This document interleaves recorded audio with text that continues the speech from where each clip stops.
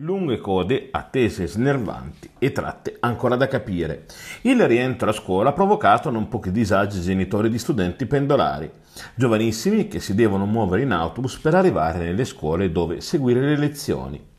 Agli inizi di settembre, infatti, Autolinee Toscane, che da novembre scorso gestisce tutto il trasporto pubblico su gomma della regione toscana, e Bus Italia Umbria Sita Nord hanno effettuato un accordo sulla gestione delle tratte a cavallo delle due regioni e sui ticket, facendo ricadere tutto in seno proprio all'Umbria e nello specifico nell'Alto Tevere, con gravi difficoltà, soprattutto per due linee, quella da Città di Castello a San Sepolcro, la ex 388 che passa per le scuole, poi Cerbara, Selci, Lama, San Giustino fino alla cittadina toscana, e quella che va dal comune di Fernate fino a Lippiano, la ex 389, con le fermate anche a Pistrino e Ville.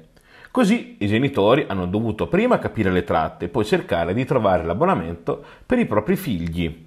L'unico luogo dove si può effettuarli però è la biglietteria della stazione del treno a Città di Castello. E qui, in pochi giorni, si sono fiondati migliaia e migliaia di persone pronte a pagare l'abbonamento a prezzi non troppo concorrenziali nonostante il bonus ministeriale. Padri e madri erano così tanti che ben presto si sono create lunghe file, addirittura ben prima che il botteghino aprisse, verso le 7 della mattina, tanto che alcuni giorni fa una ragazza è anche svenuta, stremata dalla stanchezza fra le differenze della gente, e pensare che siamo ancora solamente all'inizio dell'anno scolastico.